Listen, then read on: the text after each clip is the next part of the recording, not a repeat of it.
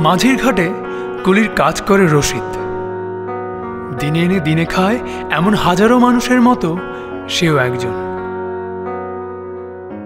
কাজ শেষে প্রতিদিন যখন ঘরে ফিরে যায়, ছেলের হাসি মাখা মুখটা তার সারাদিনের হাড় ভাঙা খাটুনির কথা ভুলিয়ে দেয়।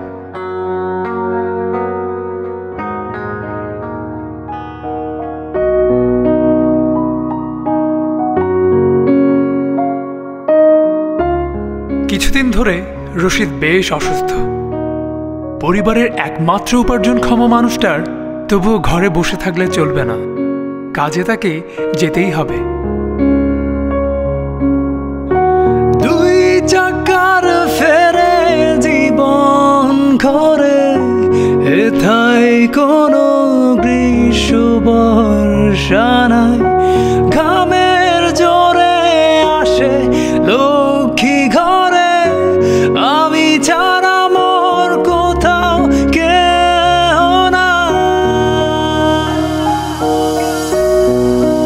কিন্তু মাঝের ঘাটের ভারী জিনিসগুলো শরীর আর নিতে পারছে না।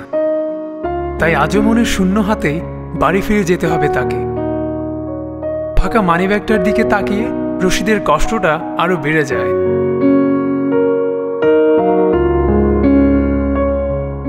বিকেল হয়ে এলো প্রায়। এদিকে খিদেও লেগেছে ভীষণ। পাশের চায়ের দোকানে অন্য শ্রমিকরাও এসে নাস্তা সারছে। আর ওদিকে রশিদ টাকার কথা চিন্তা করে গোমরা মুখে বসে আছে।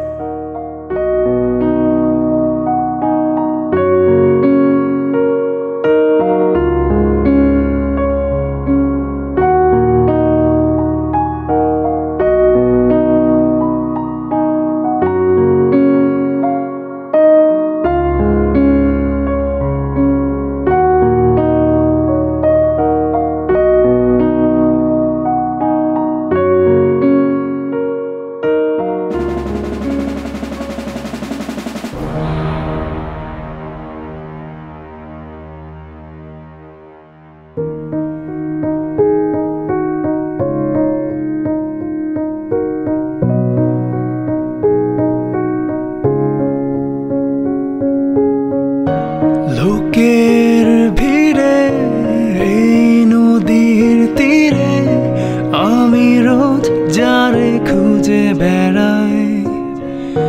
ছোট্ট নীরে, ওই মায়ায় ঘিরে আমি তারে খুঁজে পাই।